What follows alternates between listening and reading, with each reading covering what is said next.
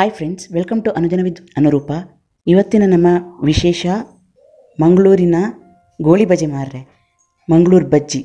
ಸೂಪರೋ super ಬಿಸಿ ಬಿಸಿ coffee ಅಥವಾ ಚಹಾದೊಟ್ಟಿಗಂತೂ ಅಮೃತ. ಬಿಸಿ ಬಿಸಿ ಬಜ್ಜಿ, ಚಟ್ನಿ ಮಂಗಳೂರಿಗೆ ಬಂದವರಂತೂ ಗೋಳಿ ಬಜೆ ಸವಿಯದೆ ಮಂಗಳೂರಿಂದ ಹೋಗೋದೇ ಇಲ್ಲ. ಇವತ್ತು ನಾನು ಹೋಟೆಲ್ ಸ್ಟೈಲಲ್ಲಿ ಮೃದುವಾದ ದುಂಡಗಿನ ಬಿಸಿ ಬಿಸಿ ಗೋಳಿ ಬಜೆ ಹೇಗೆ ಮಾಡೋದು ಅಂತ ನಾನು ಹೇಳ್ತೇನೆ. ಒಂದು ಗ್ಲಾಸ್ ಮೈದಾ, ಅರ್ಧ ಕಪ್ ಹುಳಿ ಮೊಸರು, ಎರಡು ಹಸಿಮೆಣಸಿನಕಾಯಿ, ಸಣ್ಣ ತುಂಡು ಶುಂಠಿ, ಸ್ವಲ್ಪ ಕರಿಬೇವು ಸೊಪ್ಪು, ಸ್ವಲ್ಪ ಕೊತ್ತಂಬರಿ ಸೊಪ್ಪು, ರುಚಿಗೆ ತಕ್ಕಷ್ಟು ಉಪ್ಪು ಅರ್ಧ ಚಮಚ ಜೀರಿಗೆ, ಎರಡು ಚಮಚ ಸಕ್ಕರೆ, ಚಿಟಿಕೆಯಷ್ಟು ಅಡುಗೆ ಸೋಡಾ. ನಾನು ಇಷ್ಟನ್ನು ತಗೊಂಡಿದ್ದೇನೆ. ಇದಕ್ಕೆ ಹುಳಿ ಮೊಸರು ಇದ್ದಷ್ಟು ಒಳ್ಳೆಯದು. ಸೊ ಆದ್ದರಿಂದ ಚಿಟಿಕೆಯಷ್ಟು ಅಡುಗೆ ಸೋಡಾ ಸಾಕು.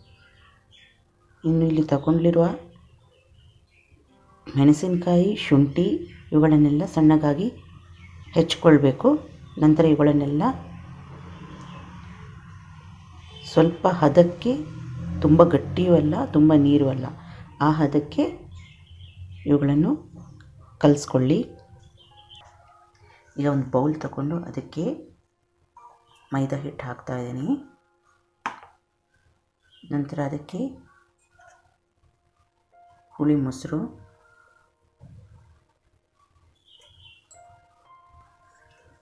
ಜೀರಿಗೆ ಸಕ್ಕರೆ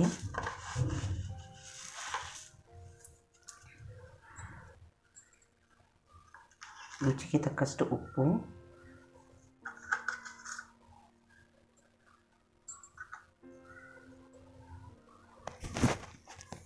ಚಿಟಿಕೆ ಅಡುಗೆ ಸೋಡಾ ಸ್ವಲ್ಪ ಇಂಗು ಹಾಕಿ ಚೆನ್ನಾಗಿ ಕಲಸ್ಕೊಳ್ಳಿ. ಈಗ ಚೆನ್ನಾಗಿ ಕಲಿಸ್ಕೊಂಡ ನಂತರ ಅದಕ್ಕೆ ಹೆಚ್ಚಿಟ್ಟ ಶುಂಠಿ, ಕಾಯಿಮೆಣಸು, ಕರಿಬೇವು ಸೊಪ್ಪು, ಕೊತ್ತಂಬರಿ ಸೊಪ್ಪು ಹಾಕಿ ಇನ್ನೊಮ್ಮೆ ಚೆನ್ನಾಗಿ ಕಲಿಸ್ಕೊಳ್ಳಿ. ಈಗ ಚೆನ್ನಾಗಿ ಕಲಿಸ್ಕೊಳ್ಳಿ.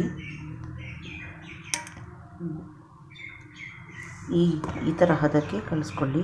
ಬೇಕಿದ್ದರೆ ಸ್ವಲ್ಪ ಜಾಸ್ತಿ, ಇನ್ನೊಂಚೂರು ಗಟ್ಟಿಯಾಗಿ ಕಲಿಸ್ಕೊಳ್ಬೋದು. ಈ ಹದಕ್ಕೆ ಕಲಿಸ್ಕೊಳ್ಳಿ.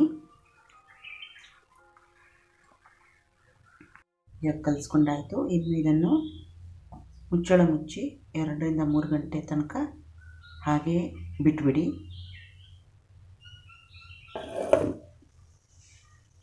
ಈಗ ಒಂದು ಬಾಣಲೆಯಲ್ಲಿ ಎಣ್ಣೆ ಬಿಸಿ ಕಿಡಿ ಸಾಕಷ್ಟು ಎಣ್ಣೆ ಇಡಬೇಕು ನೀವು. ಎಣ್ಣೆ ಬಿಸಿ ಆದ ತಕ್ಷಣ ಒಂದು ಸಣ್ಣ ಪಾತ್ರೆಯಲ್ಲಿ ನೀರು ಇಟ್ಕೊಂಡು ಅದರಲ್ಲಿ ಕೈ ಅದ್ದಿ ನೀವು ಸ್ವಲ್ಪ ಸ್ವಲ್ಪ ಹಿಟ್ಟು ತೆಗೆದು ಎಣ್ಣೆಗೆ ಬಿಡಿ.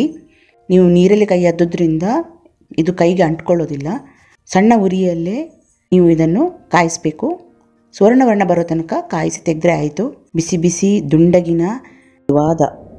ಗೂಳಿ ಬಜೆ, ಮಂಗಳೂರು ಬಜ್ಜಿ ಈ ಕಾಫಿ ಜೊತೆ ಸವಿಲಿಕ್ಕೆ ಸಿದ್ಧ. ಚಟ್ನಿ ಇದ್ರಂತೂ ಸೂಪರ್. ಸಂಜೆಗೆ ಹೇಳಿ ಮಾಡಿಸಿದ ಸ್ನ್ಯಾಕ್, ಸಣ್ಣ ಪಾರ್ಟಿಗಂತೂ ಹೇಳಿ ಮಾಡಿಸಿರುವಂಥ ಟ್ರೀಟ್ ಇದು.